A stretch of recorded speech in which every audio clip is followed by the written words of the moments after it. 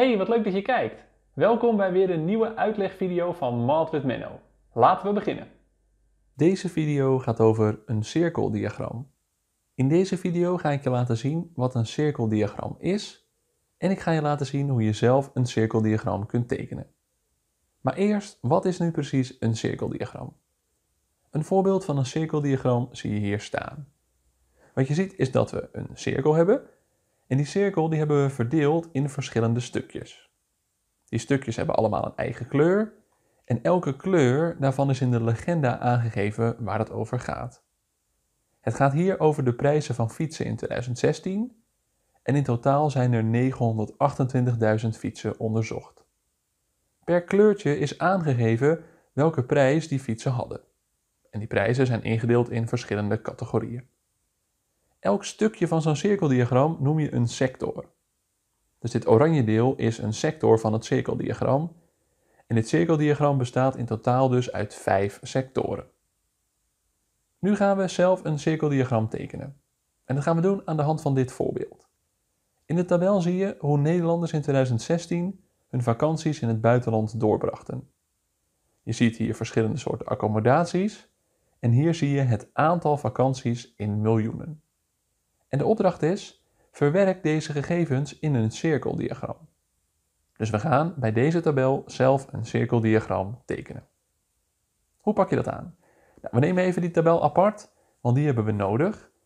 En wat je ziet is dat er eigenlijk vijf onderdelen in de tabel staan. Vijf onderdelen betekent dat ons cirkeldiagram zometeen uit vijf sectoren gaat bestaan. En eerst moeten we even uitrekenen wat het totaal is. Voor het totaal ga je al die vakanties bij elkaar optellen. Dus je doet dan 7,7 plus 2,9 plus die andere drie en dan kom je uit op 17,9 miljoen vakanties. Ik heb het woordje miljoen even weggelaten, want dat hebben we voor nu even niet nodig. Want wat we nu gaan doen is we gaan nu uitrekenen hoe groot elke sector is. Dus ik wil weten welk deel van mijn cirkel bevat zometeen het stukje hotel en pension. Hoe doe je dat? Nou, dan willen we eigenlijk weten welk deel is 7,7 van 17,9. En daarvoor gebruiken we de formule deel gedeeld door geheel. Dus wat doen we dan? Je noteert, voor hotel pension doen we deel gedeeld door geheel, oftewel 7,7 gedeeld door 17,9. En dat antwoord doen we keer 360 graden. Want een hele cirkel is 360 graden. En van die hele cirkel willen we een stukje gebruiken voor hotel pension. Dat is 7,7 van de 17,9. Dus je doet 7,7 gedeeld door 17,9 keer 360 graden. En het antwoord mag je afronden op gehele en dan krijg je 155 graden. Dus we gaan zo meteen een sector tekenen van 155 graden en dat is het stukje voor hotel en pension. Nu gaan we precies dezelfde berekening doen, maar dan voor al die andere accommodaties. Dus ik begin met de camping. Dat is 2,9 miljoen. Dus dan doen we deel gedeeld door geheel. Dus 2,9 gedeeld door 17,9. En dat antwoord doe je keer 360, rond je af op gehele en dan vind je 58 graden. Dat doen we ook voor de bungalows. Dus dan doen we 2,7 gedeeld door het totaal, 17,9 keer 360, dat is 54 graden. Hetzelfde doe je voor de appartementen, dan vind je 34 graden. En dat doe je ook voor de categorie overig. En dan kom je ook uit op 58 graden. Nu hebben we dus al die graden van die verschillende sectoren berekend. En nu gaan we ons cirkeldiagram tekenen. Eerst wat je doet is, je maakt even een flinke cirkel. En hoe groter de cirkel, hoe makkelijker het eigenlijk is. Dus maak hem niet te klein ik zou zeker zeggen, geef hem een straal van 5 of van 6 centimeter. En die cirkel die zie je hier getekend.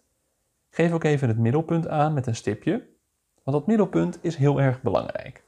Vanaf daar gaan we namelijk zo meteen al die sectoren opmeten. Wat je eerst even doet, is je tekent eventjes die straal gewoon vanaf het middelpunt recht omhoog.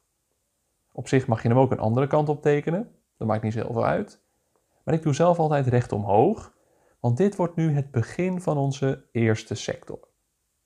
Onze eerste sector gaat over hotel pension en die is 155 graden. Dus dit is het eerste been van een hoek van 155 graden. Nou, dan pak je even je geo.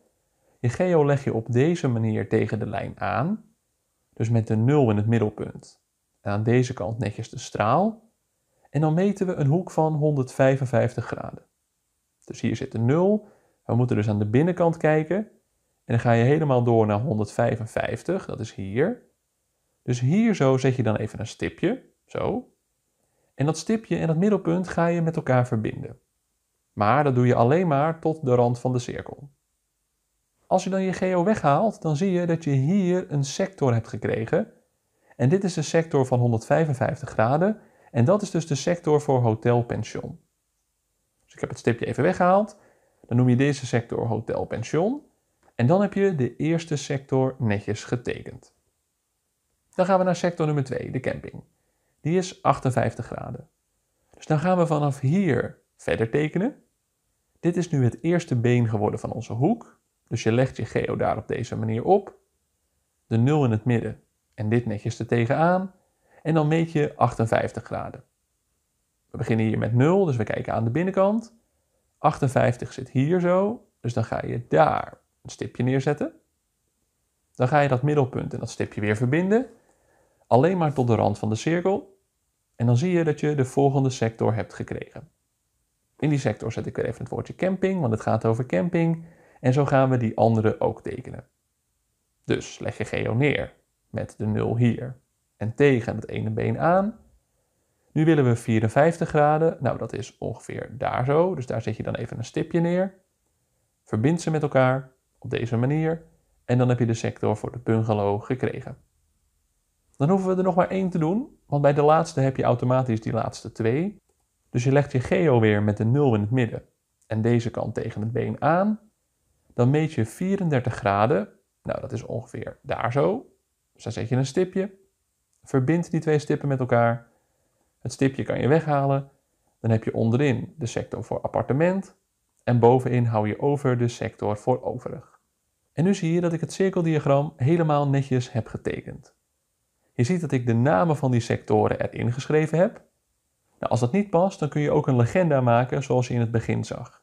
Dus dan geef je alles een kleurtje of een letter en dan zet je ernaast even neer wat alle kleurtjes of letters betekenen. Nog één belangrijk dingetje. Als je een cirkeldiagram maakt, dan moet je ook altijd even de titel erboven zetten. Dus dat heb ik hier gedaan. Vakanties in het buitenland. En onder de titel zet je ook altijd even het totaal. In ons geval was dat 17,9 miljoen. En nu heb je je cirkeldiagram netjes getekend. Dus wat hebben we gezien in deze video? Als je dus een cirkeldiagram wilt tekenen, dan ga je eerst het totaal uitrekenen. En daarna ga je per onderdeel bepalen hoeveel graden die sector moet worden.